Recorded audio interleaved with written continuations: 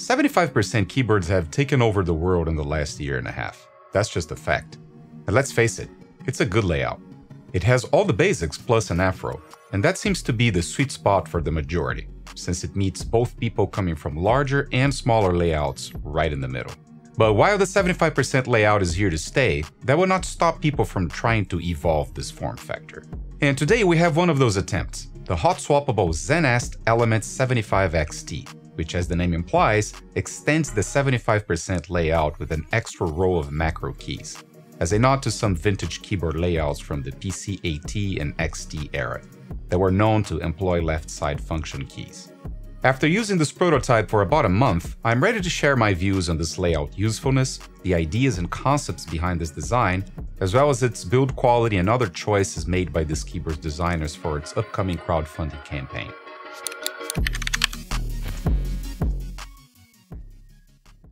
This video is sponsored by PCBWay. Bring your next product to market with PCBWay's OEM and contract manufacturing services. Check the link in the description below for more information. Hello and welcome to IO Sam. I'm Sam Franco and this is a channel where I do tech reviews and show you how to build, fix and mod all sorts of computer gear. Today we are checking out the Element 75 XT from a newcomer to the semi-custom keyboard scene, the Singapore-based ZZanest. A late 2022 crowdfunding project aiming to secure a minimum production run of 200 units of this roughly 310 US dollars fully assembled keyboard that will include switches, keycaps, and an extra FR4 plate besides the case, aluminum plate, and PCB. This is a hot swappable gasket-mounted CNC aluminum keyboard sporting an extended 75% layout with a knob that is QMK and VIA compatible and that will ship with both aluminum and FR4 plates. It does offer all the basics we come to expect from custom and semi-custom keyboards in this price range in 2022 such as plate PCB assembly isolation, south-facing switch sockets, RGB backlighting, and quality metal construction. As this is a crowd-funded project, I'll have a rather important disclaimer about group buys and crowdfunding projects in the conclusion chapter of this video that you should definitely check out if you're new to the custom keyboards hobby. As for the Element 75 XT in particular, ZZanest sent me this prototype free of any cost for the sole purpose of reviewing it and providing the project runners with valuable feedback for things they could improve in its product's design. But as my viewers already know by now, my reviews are never dictated or influenced by manufacturers, resellers, or PR teams. I will place affiliate links for some of the parts and tools you'll use in this video for your convenience that can also generate revenue to support this channel but that does not influence my views and opinions here.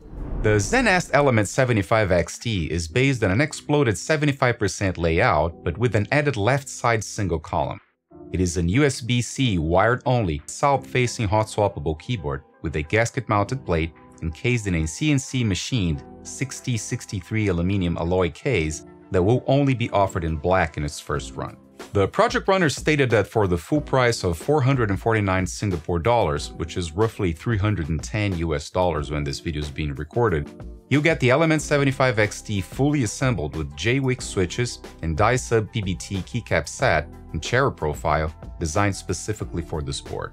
Although at this time, I don't have a final word on the keycap's color schemes.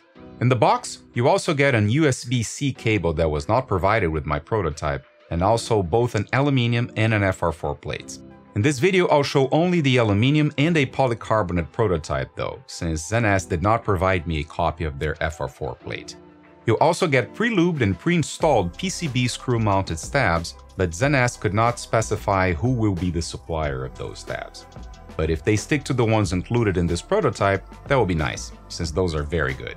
The PCB has 5-pin south-facing hot swappable sockets with RGB illumination that can be fully programmed through QMK and VIA.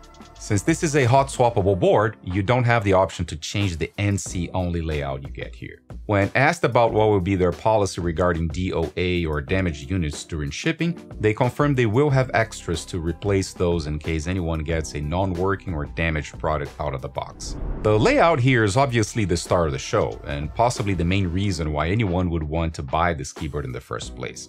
While just adding an extra column sounds like a trivial thing, I believe ZZanest did better than that here. First, they moved the volume knob to the left top corner, when compared to most popular 75%, which opens the top right corner to have three more keys placed there in comparison to the GMMK Pro for example. After squeezing the F-row blocks closer together, which I don't mind. And I really like those changes, since now you can have 12 of the standard 13 navigation keys from a TKL on that side. Considering I never had a use for the pause key, 12 keys is all I really need. And then, on the left side, you get 5 extra keys under the knob, or 4 if you bring the escape key down there to preserve the tilde key as I did on mine. The idea here is to allow you to place macros or remap those keys any way you like through QMK and VIA. While not everybody relies on macros for their workflows, truth is anyone can make use of those extra keys for gaming, spreadsheet work, image and video editing, or even to play some quick shortcuts and other desktop-related tasks. And a left side column is the perfect placement for macros anyway, since it would not take away mouse space on the right side of the board for the vast majority of people. This is something we've seen many times already, from vintage keyboards all the way to more modern gaming layouts. It is already a tried and true thing. As for having the rotary encoder on the top left side, I actually prefer it there than on the top right corner, since it allows me to use it without lifting my hand from the mouse. And because this board is QMK and VIA compatible, you can use the rotary encoder not only as a volume knob, but also with other navigation and backlighting functions, which immediately makes it much more useful than the one on the GMMK Pro, for example, since here you have more than one function for the knob when used with multiple layers. If you are an entrepreneur in the market for a reliable OEM or contract manufacturing partner to help you bring your next product design to life, did you know PCBWay has exactly what you're looking for? If you have a design for lighting, security or medical equipment, home or kitchen appliances, or other types of electronics, PCBWay can manufacture your product under your specifications and help you to bring your creations to market quicker and with higher quality. All while enjoying the flexibility and cost savings that are only possible through OEM economies of scale in PCB production and assembly, injection molding, CNC machining, and sheet metal fabrication. With 11 factories and over 2,800 employees, as well as access to the best component suppliers in the industry, PCBWay is a uniquely qualified one-stop shop that can assist you through the entire process of designing, manufacturing, testing and packing fully assembled devices that are ready for shipment. Check out the link in the description below for more information and OEM case studies, or to contact PCBWay's team of engineers, designers, and production specialists for a quote. And thanks to PCBWay for their support of this channel and the mechanical keyboards enthusiast community. Now, let's go through this keyboard's parts, features, and design, as well as its build quality. In regards to its build quality though, I have to preamble this section by disclaiming this review unit is a prototype that has been handled by a lot of people before it got to me. And as a result, it arrived with some scuff marks and dents that you obviously should not get on the final product. While I'll point out some of these things, I'm obviously giving ZZanest the benefit of the doubt here and would not pin this to lack of QC on their part. The case design is simple and subdued. No crazy lines, curves, lights, or accents of any kind except the simple element in the bottom that we'll get to in a minute. The anodization is at the same level of what you get on a GMMK Pro, which is to say it is very good. A bit grainy, but with no stains, streaks, or discolorations anywhere I could find. But unlike the GMMK Pro, that had its case cast, this one is CNC'd, which is a bit nicer in my opinion. Although, as I mentioned earlier, my unit suffered from some rough manhandling before it got to me, which is very unfortunate and something buyers of the final product will hopefully not experience with their brand new units.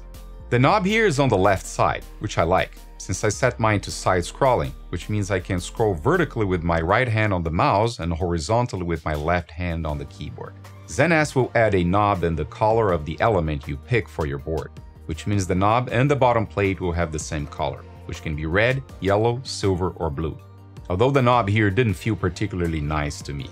A bit on the small side and the lack of knurling or any type of texture makes it feel a bit bland. But because the rotary encoder uses a circular 6mm stem, it is not hard to find aftermarket replacements, as we'll see in the modding chapter.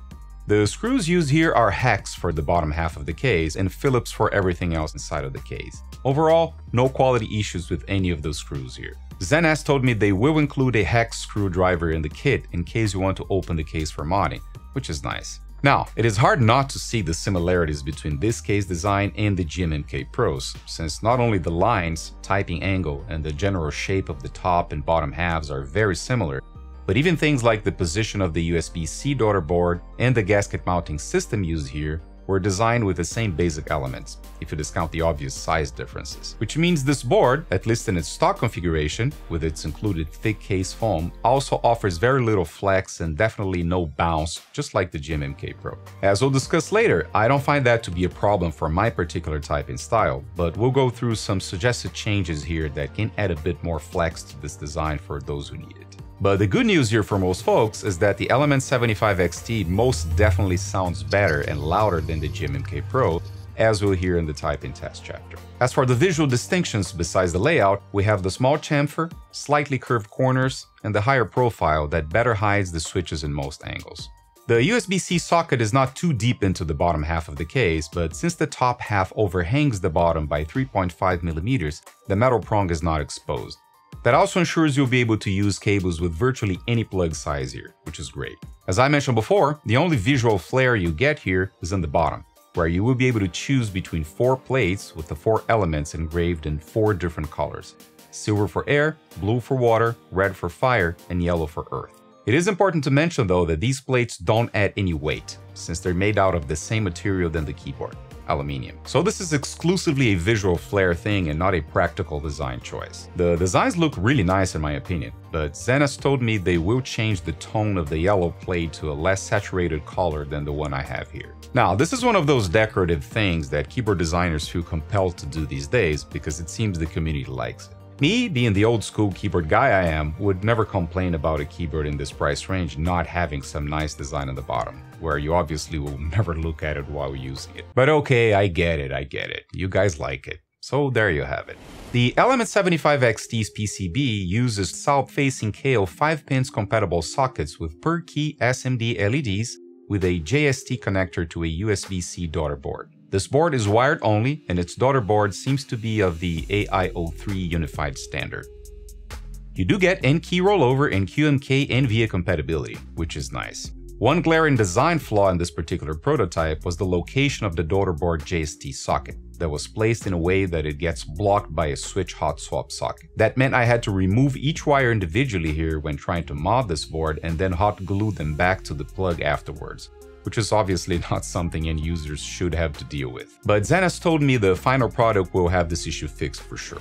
As for the RGB, while this board does offer it, it will be one of those cases where it will probably make no difference depending on the switches and keycaps you use. With the Gateron Oil Kings I'm using here, there's basically no lights visible, since the switch does not have an opening for RGB lights to come through. But if you're like me, and depending on your use case, you might not care too much about the lackluster backlighting in these types of keyboard configurations. In both my home office and bedroom setup, I use these types of desk lights that you mount on top of your monitor, and that can shine a soft light directly on your keyboard and mouse area, such as the BenQ Screen Bar Plus I'm showing here. This lamp is super simple to install, becoming basically invisible after mounted, and yet it can shine as much light as you need directly where it matters, without any glare or obfuscation visible bulbs that can blind you. The BenQ screen bar has this convenient remote control with a dial that allows you to adjust brightness and color temperature, plus a smart function that will read the amount of light in your room and automatically provide the ideal brightness level with a single push of a button. This is a really classy solution for late night typing or gaming. If you happen to go with fully translucent switches, such as Gateron North Pole, TTC Ice Candy, or Everglide Aqua King, then you still get a nice underglow with the Element 75 XT, since its LEDs are some of the brightest I have ever seen in any keyboard when set to their maximum brightness. Another good thing about the backlighting here is that you get full control through VIA,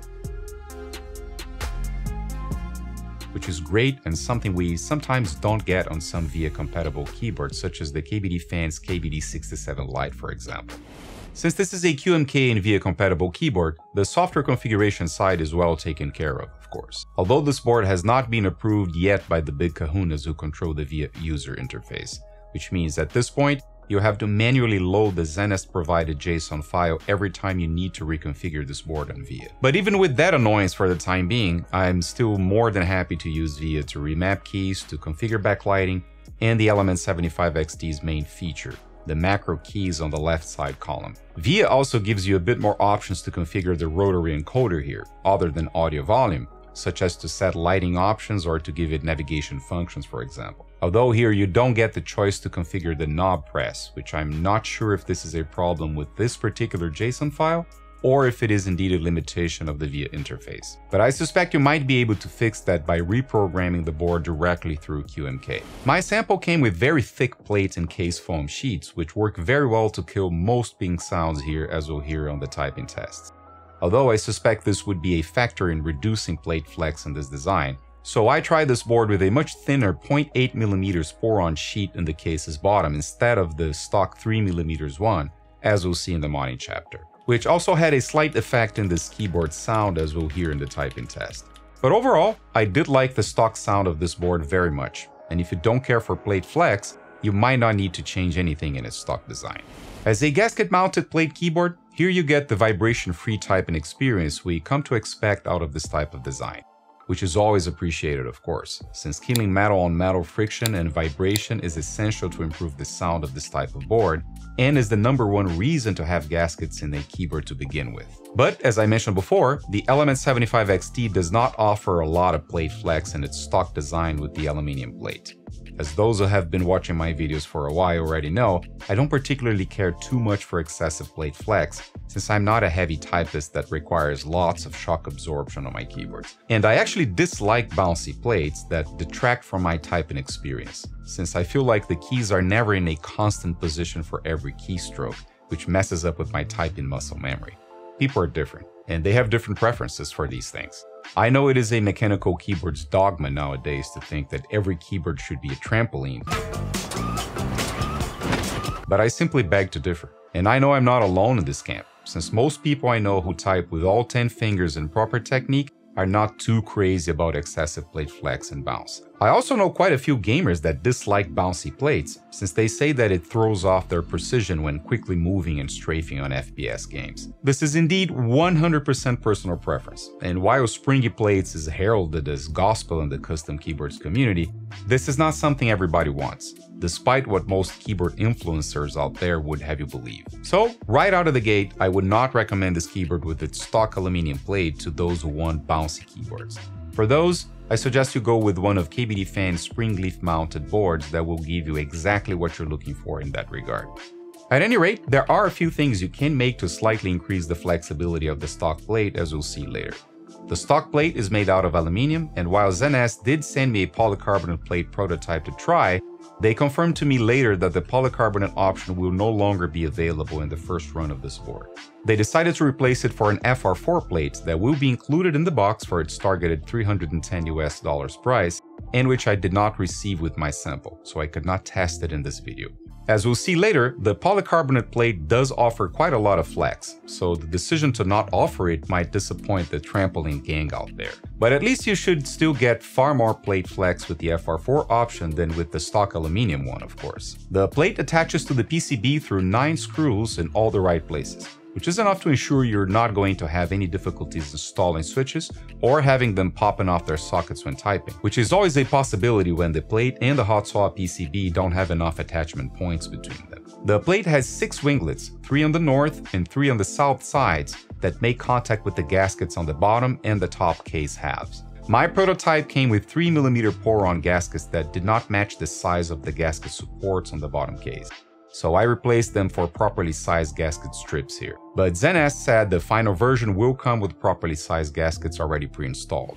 The board uses PCB mounted stabs and this prototype came with screw mounted housings that look like Durock V1s.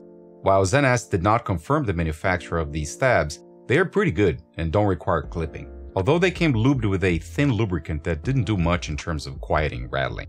So I ended up removing the stock lube and replaced it with my own Krytox mix in the housings and stems and Krytox XHT BDZ in the wire tips. I also added KBD Fan's rubber pads under the housings to reduce the bottom out noise a bit. My prototype sample did not come with any switches or keycaps, but ZZanest said they will include Jwick black linear switches and dye sublimated PBT keycaps in the box. For this review, I used the only keycap set I had with enough novelty caps to fill the macro column with profile correct keys. Drops GMK Red Samurai in this dark red and cinder with yellow legends and accents. This, by the way, will be your main challenge when populating the macro column of a keyboard with this type of layout with aftermarket sets, since most keycap kits don't have macro keys or enough novelties in the correct row profiles to fill those five positions. You'll have to most likely buy some novelty add-on kits or fill them up with artisans or relegendables. But I gotta say, the Samurai set looked phenomenal on this blackboard. The keyboard measures 36.3 centimeters in width, which is equivalent to a TKL size, 13.7 centimeters in depth, 2.2 centimeters in height on the front side, and 3.6 centimeters in height on the back side. The inclination angle is 5 degrees when measured on top of the third row of cherry profile keycaps. The keyboard weighs 2.1 kilograms, or 4 pounds and 1 ounce when assembled with switches and keycaps. As for the looks, I'd say that if you like the trendy exploded 75% out there, there's a good chance this will appeal to you. One could even argue that the extra column on the left side ends up bringing some balance to the popular 75% layout, since it makes it look a bit more proportional by counterbalancing the navigation column on the right. As for the case color, this first round will be black only, which is the obvious color to pick if you offer only one option, since black keyboard cases are by far the easiest ones to match with keycaps of any color. But depending on the success for the first round, I'm sure ZZanest will consider bringing additional options in future batches. Alright, so let's hear how the ZZanest Element 75 XT sounds in its stock configuration with its thick case and plate foam sheets with the aluminium plate.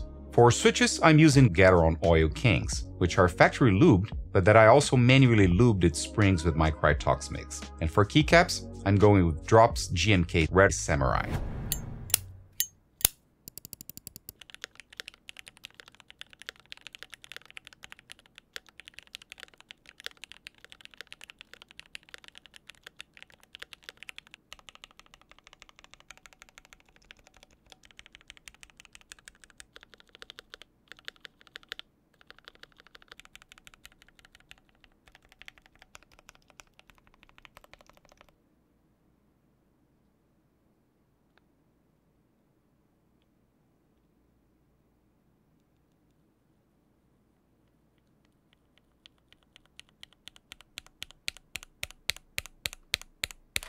The Element 75 XT has a pretty balanced sound profile in its stock mode. Not too loud, not too muted, not too clacky. Although you get very little of the desirable low frequency sounds outside the top and bottom rows, which can be difficult to achieve with perfect consistency on metal boards with plenty of foam like this one.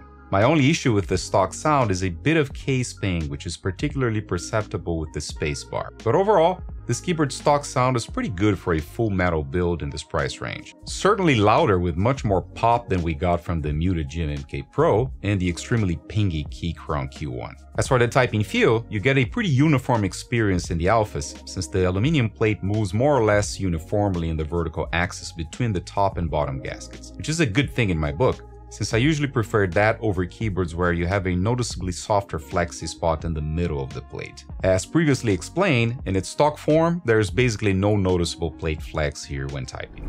After typing on the Element 75 XT with Gateron Oil King switches and GMK ABS keycaps, I can honestly say that the stock typing experience is not too far from what I expect out of a keyboard in this price range, and thus I could totally use it in stock form. But for the sake of showing to those who like a bit more plate movement and a bit more sound volume out of their keyboards, there are a few mods I can suggest here. Replacing the thick 3mm stock case foam sheet for a much thinner 0.8mm one, and then insulate the inner bottom side of the case with a couple of layers of masking tape, as well as applying a force break or O-ring mod between the two case halves. The thinner foam will give you about 2 extra millimeters of space under the PCB, allowing it to flex a bit more and allowing more sound to resonate inside of the case, thus increasing the sound volume.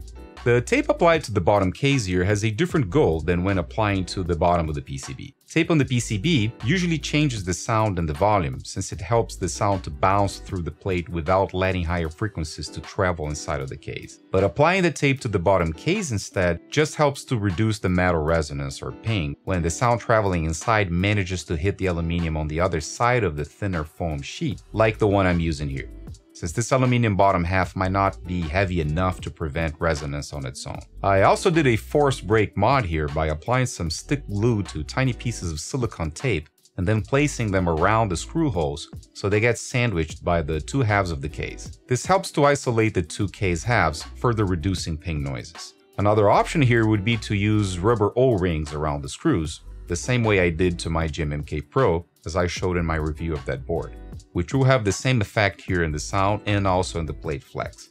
Considering the similarity of the designs between the Element 75XT and the GMMK Pro, that makes total sense of course.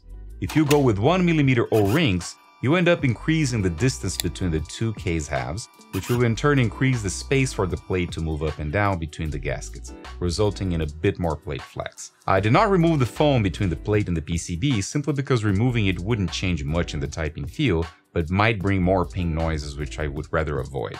Other than that, the only other thing I changed here was the knob, which I picked the super high quality one from DigiKey that has a compatible 6mm wide shaft and is 100% metal inside and out and has a nice texture to it. Because this knob does not have a soft plastic fitting inside, it relies on a screw to firmly secure it to the rotary encoder stand. So let's check out how the ZZanest Element 75 XT sounds now with the thinner case foam and the stock aluminum plate with tape bottom case and force break mod. As a bonus comparison, I also added an extra configuration with factory lubed Everglide Aqua King linear switches, which I also lubed its springs with my Krytox mix and the polycarbonate plate with 1mm O-rings sandwiched between the two halves of the case.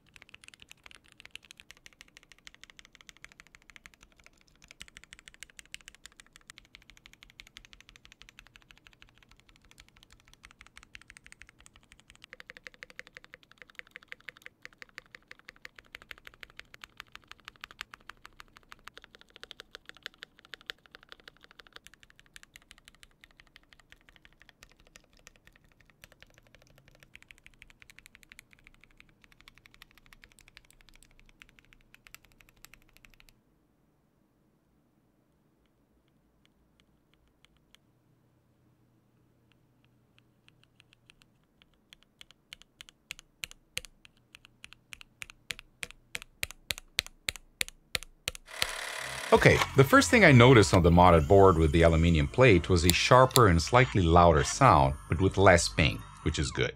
But as far as the typing feel goes, the difference between the stock and the modded versions of this board with the aluminium plate is quite small. If you type with more force, you might be able to tell them apart, but if you're a light-handed typist like me, you might miss it. Now, the huge difference here was with the polycarbonate plate with the O-rings mod. The overall sound volume was reduced by quite a lot, but not in a muted way. What I got here was a lower frequency, softer sound that honestly sounds a lot more pleasant than with the aluminum plate. Here, even with the same thin foam and no tape on the bottom case, I got virtually no ping, which was a clear effect of the better isolation provided by the O-rings compared to the thinner silicone tape, and the polycarbonate material of the plate that doesn't resonate as much as aluminium. As for the typing feel though, the excessive plate movement and flex got a bit out of hand for my taste, but for those who like flexi plates, this combination of thin foam, O-rings around the screws, and polycarbonate plate would be the perfect recipe. One other side effect of the fully transparent Everglide Aqua King switches and polycarbonate plate was the amount of RGB light coming through to the surface. With the crazy bright LEDs from this PCB, the glow under the keycaps was borderline blinding to the point I had to reduce the brightness through VIA. So that would be another positive aspect of the polycarbonate plate to some of you. Alright, so what are my conclusions about the ZZanest Element 75 XT? The extended 75% layout of the Element 75 XT is obviously the star of the show here and possibly the main reason to get this board. Having an extra left column with 5 keys that you can assign macros or any other functions in multiple layers through VIA is one of those things you don't know you want until you experience it. Its potential uses for productivity and gaming are endless.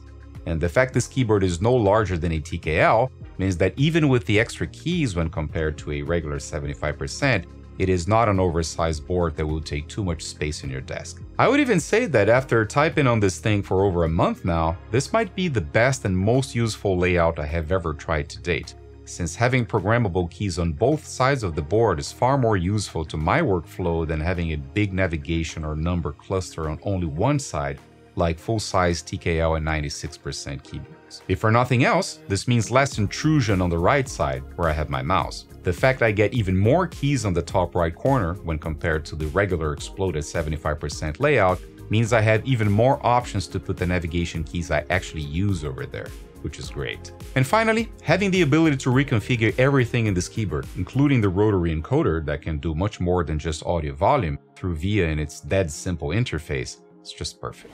Looks are always subjective, of course, and here we have a quite simple and unassuming design.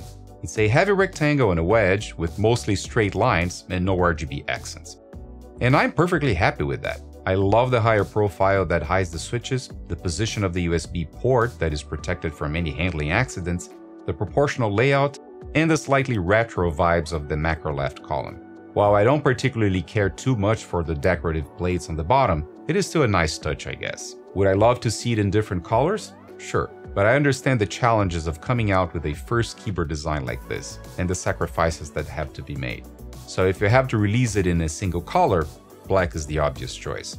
But I truly hope this project succeeds, so we can see future rounds of this board with different case colors. While this keyboard is an improvement in almost every way when compared to the two most popular production boards with 75% layout in the last year or so, the GMMK Pro and the Keychron Q1, the typing feel is not too different from those two. As a gasket-mounted keyboard, the plate PCB assembly feels properly isolated from the case, thus producing no noticeable vibrations and unpleasant noises. And in that regard, it resembles the GMMK Pro that felt solid to type on with no weird noises, and surpasses the Keychron Q1 that felt softer and nice, but unfortunately didn't sound that good. So it is fair to say that the gasket mounting used here is working fine, and I'm perfectly happy with it in its stock form with the aluminium plate.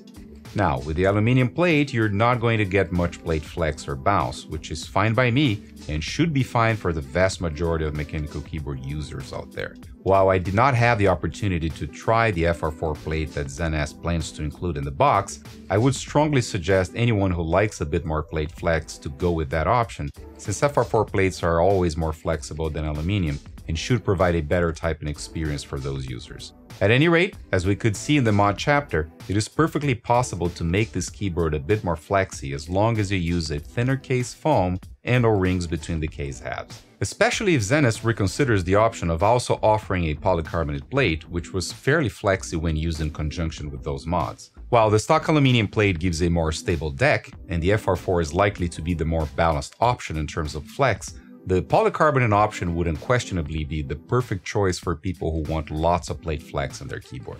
In the sound department, I was again pretty happy with the stock performance of the Element 75 XT for its price. While there was a slight spacebar ping with the stock aluminum plate, taping the bottom case mostly took care of that, so it is not a deal breaker for me. Using the thinner foam in conjunction with the case taping in the Force Break mod did change the sound as one would expect. The overall sound got sharper and the bottom outs more defined with the extra space for the typing kinetic energy to resonate under the PCB. Although, my favorite sound profile was with the polycarbonate plate, which had a lower overall sound volume, but gave much lower frequency sounds from both Gateron Oil King and Everglide Aqua King linear switches. While ZZanest did not send me a prototype FR4 plate to try with the Element 75 XT, I know from experience that FR4 plates usually don't sound much better than aluminum ones, despite feeling a bit nicer to type on in my opinion. It would be a bit of a shame not having the option to at least order a polycarbonate plate as an optional purchase for those who, like me, prefer a quieter but thockier and bassier sound profile. So I can only hope that the project runner can at least consider that possibility.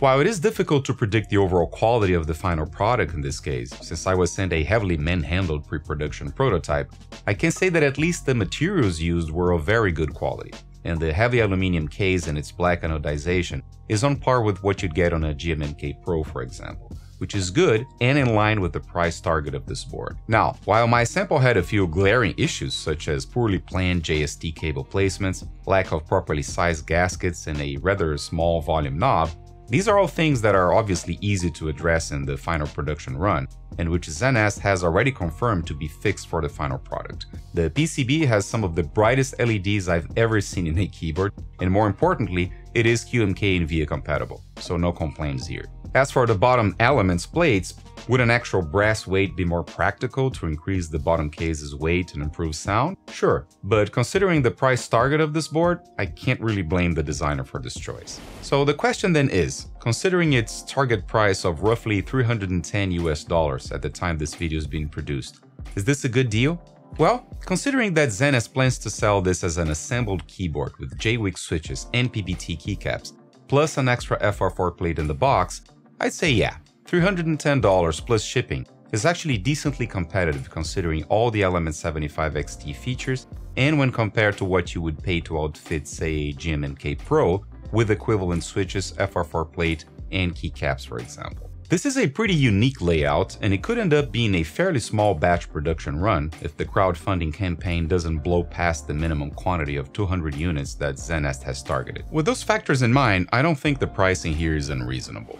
And considering the uniqueness of the layout and its price point, I can't think of many alternatives in the market at this point outside of other group buy keyboards that are pretty difficult to pin down their pricing and availability. Now, if the macro column thing is not super enticing to you, then yeah, you'd have an unlimited list of other exploded 75% keyboards out there from as low as $85 all the way to multiple hundreds for custom options that are constantly popping out of group buys everywhere. And let's not forget that you can always add macros to your current setup just by adding a programmable numpad or macro pad. For as low as 80 or $90 for a Razer Tartarus V2 or a Keychron Q0, passing by a GMMK numpad for 130 all the way to 150 for a Stream Deck, there are no shortage of programmable pads out there that you could use to scratch your macros itches. Regardless, I still think the target market for the ZZanest Element 75 XT has the potential to be pretty wide, since the 75% layout has already proved to be the most popular recently, and considering that the addition of the macro column is something most people using keyboards for gaming and productivity could take advantage of. Also, it is always good to remind folks out there that group buys and crowdfunding campaigns are not for everybody. It is not unusual for these campaigns to take months or even years to ship. So, you should be 100% aware of that and manage your expectations accordingly. But, considering the small batch nature of this project, if you want a keyboard with this feature set, you might not have a better option available out there other than joining a Kickstarter campaign like this. And, as is the case with any group buy or crowd-funded product launch, there are risks involved, since as a backer, you will be financing the production run by paying its full price in advance. I know people already settled on this hobby like to normalize the idea of paying exorbitant amounts of money for keyboard products in advance and then waiting months and years before you actually get your hands on them. But I'm not going to do that here. So I will remind you that group buys and crowd-funded keyboards should never be your first choice if you're just getting started in this hobby. You should only join these types of campaigns if you already have a good daily driver keyboard that can serve you well for the time you have to wait for your next custom board to be produced and shipped. The market for quality semi-custom keyboards is now large enough that you have lots of good options for production mechanical keyboards that you can buy right now from existing inventory and receive within days of your purchase. Having said that, it is a fact that most innovations in the keyboards market we've seen in the last few years